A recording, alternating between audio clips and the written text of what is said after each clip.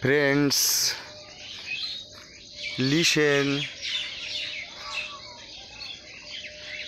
The birds are surfing here.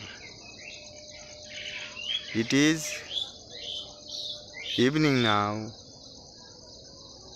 4th February 2024. I am here